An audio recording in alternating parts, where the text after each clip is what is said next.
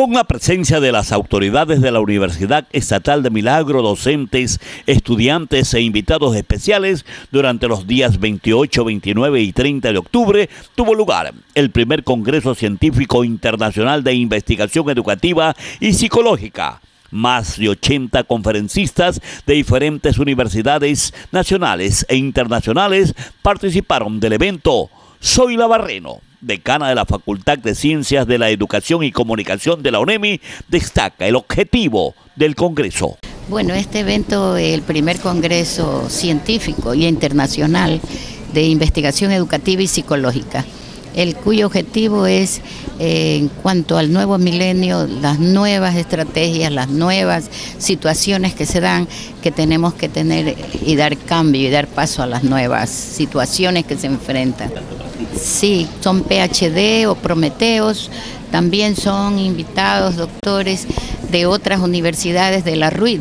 El RUID es la red universitaria de investigación y de escuelas politécnicas y entonces todas estas, mire como ya dijo la profesora, es de Machala, tenemos de Quevedo, de Babahoyo, de Riobamba, tenemos también de Santa Elena, de Guayaquil, es decir, tenemos todo de la zona 5. Un cambio y que sus estudiantes eh, potencien más, afiancen esos conocimientos que ya tienen y los actualicen.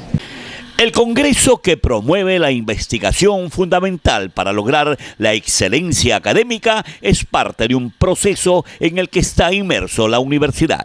Sí, precisamente el día de hoy la Universidad Estatal de Milagro, comprometida con la comunidad milagreña y con nuestros estudiantes, se propone este cambio en la transformación de la educación, tanto en el área de educación como psicológica con el componente investigativo de, parte.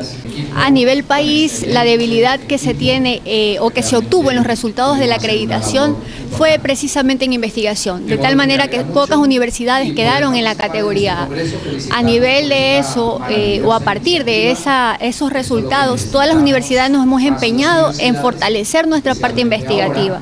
Y como verán, ya a finales de este año la universidad ha incrementado en artículos científicos y en proyectos de investigación desarrollados internamente. Por supuesto, es la inauguración, nos hemos tardado en sacarlo, pero ¿por qué? Porque esa preparación en la parte investigativa no se hace de la noche a la mañana.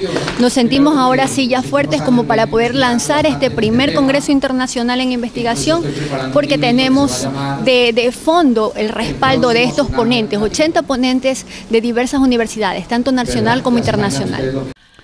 Temas como el derecho a la comunicación y a comunicar para mejorar el proceso educativo, gerontología social, ética y valores, entre otros, fueron atentamente escuchados por los docentes y estudiantes que participaron en el Congreso de Investigación Educativa y Psicológica realizado por la UNEMI. Vicente Peso, Telemilagro.